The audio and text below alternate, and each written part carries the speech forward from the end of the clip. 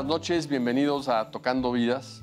Recordarán que a finales de enero hubo una fuga muy grande, una infiltración de agua en Xochimilco y empezaron a bajar drásticamente los niveles de agua de sus canales porque pues había un agujero en el subsuelo de uno de los canales de Xochimilco. Esto es una llamada de atención sobre lo que está sucediendo en toda esa zona y en realidad lo que está sucediendo en la Ciudad de México por la extracción del agua, por el crecimiento inmobiliario y por falta de programas de conservación y recuperación de joyas como es precisamente Xochimilco.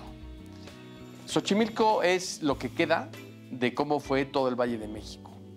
Un lugar lleno de canales, de animales, de vida eh, silvestre, en donde aún viven los ajolotes, que pues es desde los aztecas hasta la fecha un animal que admira a cualquier biólogo del mundo, porque son animales que viven en el agua que después se salen para vivir fuera de ella.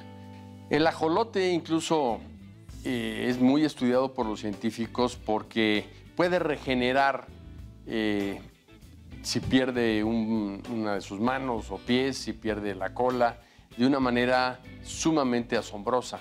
Y obviamente los científicos están interesados en saber cuál es este proceso de regeneración, porque imagínese usted que llegáramos a poder regenerar un miembro humano después de un accidente.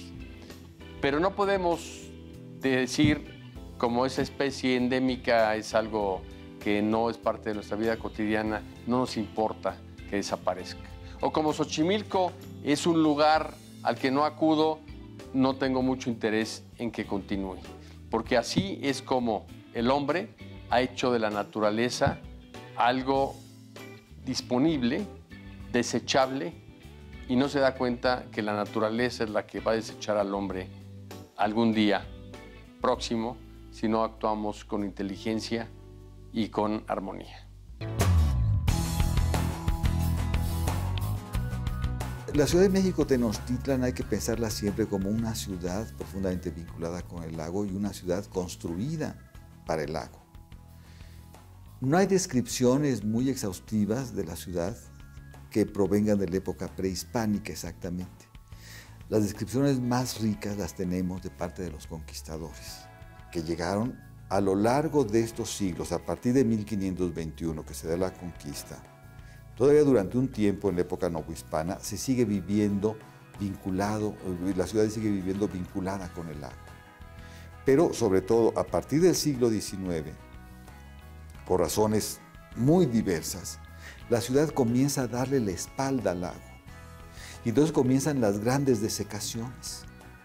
Se comienzan a secar partes del lago hasta reducirlo realmente a prácticamente nada todos los riachuelos que bajaban de, las estribaciones, tanto de la, la serranía de las Cruces como de la serranía de la Jusco, comenzaron a ser prácticamente problema y además tiraderos de basura, cosa que en la época prehispánica era impensable. Bueno, Xochimilco es una de las delegaciones más características, diría yo. La verdad es que, eh, si no es que única, ¿Por qué? Pues porque tenemos zona lacustre, tenemos zona de la montaña, tenemos la parte urbana, entonces se conjugan muchos elementos que hacen que sea una delegación única. Eh, finalmente también contamos con la Declaratoria de Patrimonio Cultural y Natural de la Humanidad, entonces eso también hace la delegación especial. Y bueno, pues finalmente los canales y el turismo que recibimos hace que también sea una delegación especial, única y diferente de las demás.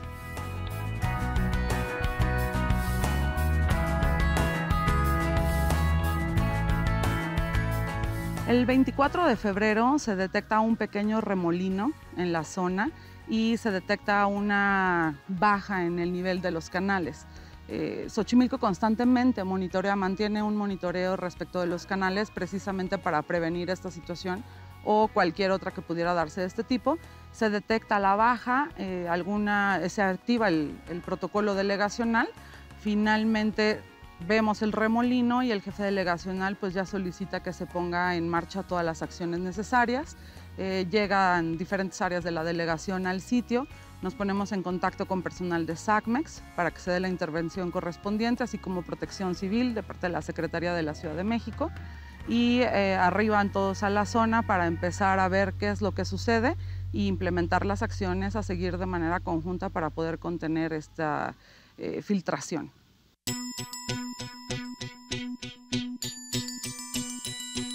SACMEX mandó a hacer unos estudios, por parte de la delegación se han mandado a hacer otros estudios que son de geofísica, de mecánica de suelos eh, y hay otras instituciones que están eh, colaborando también en estos estudios. Lo que sí podemos adelantar es que Xochimilco cuenta con un atlas de riesgo que se mandó a hacer empezando la administración y eh, sí sabemos que existe una falla geológica que cruza exactamente por ese sitio.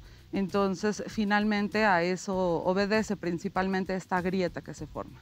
Eh, el hecho o la extracción de agua que existe en Xochimilco y en toda la ciudad pudiera ser un elemento que definitivamente tenga que ver en la grieta. Sin embargo, hasta que no tengamos el resultado final de todos estos estudios, sabremos exactamente lo que sucedió. La población reaccionó sumamente preocupada. De hecho, eh, en el momento que iniciamos nosotros el aislamiento de la zona, eh, se toma la decisión por parte de SACMEX y de manera conjunta con la delegación de armar dos diques para aislar la zona, es decir, que no hubiera agua para ver la magnitud de esta grieta y tuvimos ayuda ese día alrededor de 60 prestadores de servicios turísticos, eh, remeros, mariachi, eh, gente que vendía alimentos que estuvieron ayudándonos junto con personal de la delegación. Sin lugar a dudas, sí fue de gran ayuda eh, es, la población quiere mucho a Xochimilco, es su fuente de trabajo y se involucraron totalmente en el proceso. La zona afectada fueron 200 metros cuadrados. Fue lo que en conjunto con SACMEX eh, se decidió aislar y eh, finalmente pues, se, se, pusieron los diques y se secó esa parte del canal para ver la grieta.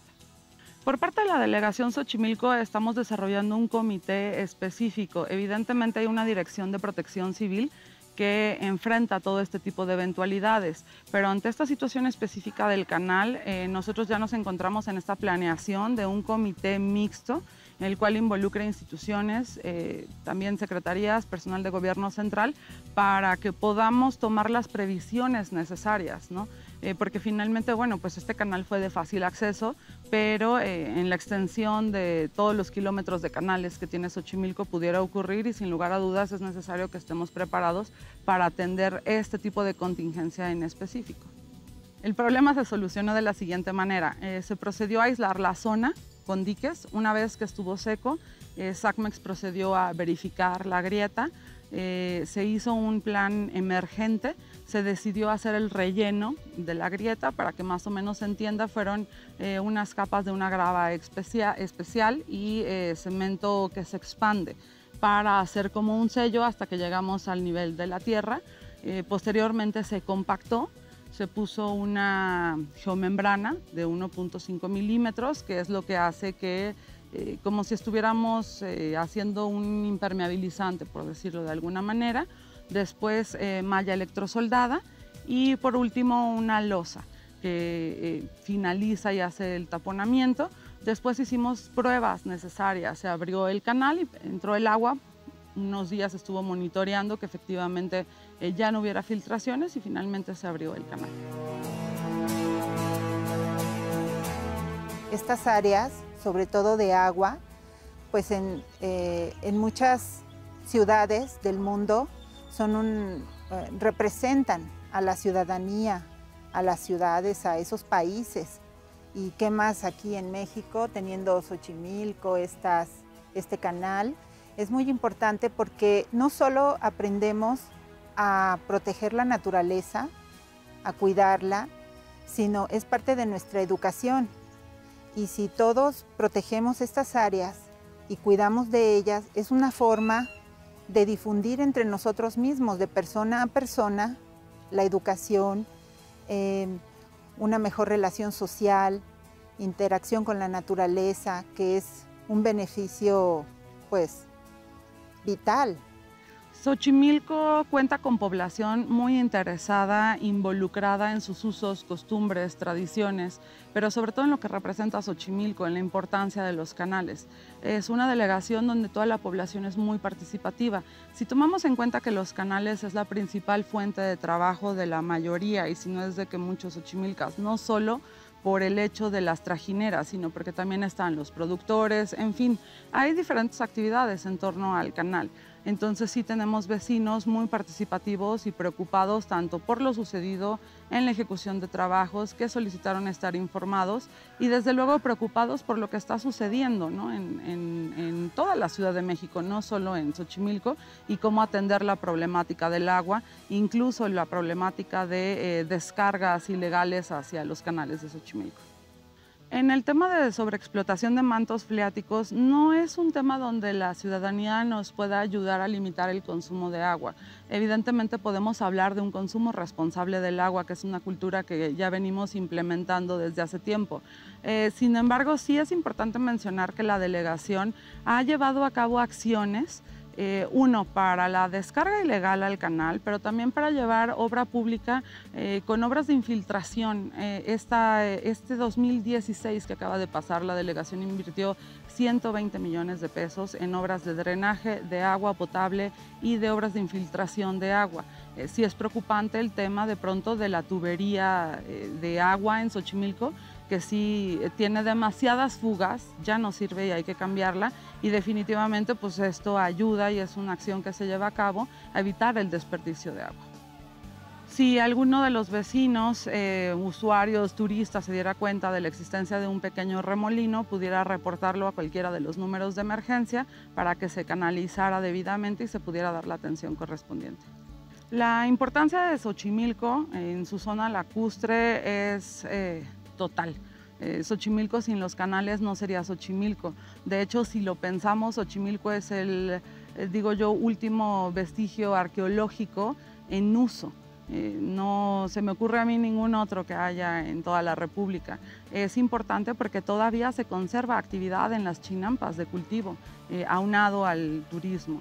Pero pues sobre todo Xochimilco es conocido mundialmente y de ahí lo emblemático de sus canales. La presión que sintió la delegación pues fue total. Es una delegación, insisto, Xochimilco es reconocido mundialmente, somos patrimonio natural y cultural de la humanidad, el compromiso fue muy grande. Sin embargo, la correcta coadyuvancia con eh, SACMEX, con diferentes instancias de gobierno central, permitió que saliéramos adelante. Xochimilco instaló un puesto de mando de 24 horas al día en el lugar para supervisar que los trabajos se llevaran a cabo pero eh, pues sí, normalmente se siente la opresión social de los vecinos que quieren estar informados, pero al contrario, lejos de nosotros tomarlo como algo malo, lo tomamos como algo bueno. Los ciudadanos que se involucran y que están informados son ciudadanos satisfechos al final cuando se concluyen trabajos de este tipo. Invitar a todo el mundo a que visite Xochimilco, los canales están bien, eh, los 10 embarcaderos que tenemos están funcionando y sobre todo, pues en este caso, que visiten el embarcadero Zacapa que está funcionando. Pues con gusto hemos visto cómo un problemón que se generó allá en Xochimilco eh, fue rápidamente atacado por autoridades, por la sociedad civil, por la población, de manera que se pudo frenar la gravedad de esta fuga. Y así nos ponen un ejemplo de cómo en momentos de emergencia hay capacidad humana de organización, de generosidad en México para salir adelante. Lo único que yo quisiera rescatar y que con esta pregunta nos fuéramos todos a dormir es si realmente necesitamos emergencias para actuar con solidaridad o empezamos a actuar con solidaridad para evitar las emergencias.